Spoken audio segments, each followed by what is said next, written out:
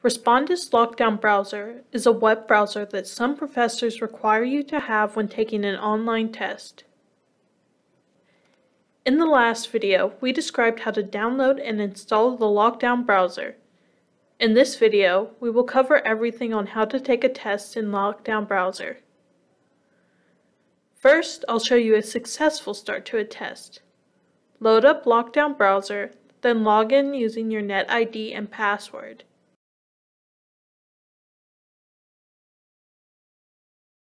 Select the course that has the Lockdown Browser test. Clicking on the title of the test will once again pull up the test instructions, and this time when you click Begin, it will allow you access. If your instructor has required a password to take the test, this is when you will enter it in the dialog box. Next, I will show you what happens when you try to start a test that requires the lockdown browser when you are inside of a different browser like Chrome.